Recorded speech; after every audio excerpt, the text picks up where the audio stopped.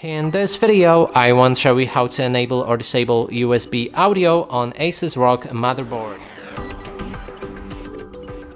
To do this, first we'll need to open Advanced BIOS settings, navigate to Advanced tab, then look for Onboard Devices configuration, and right here we can find USB audio that you can enable or disable.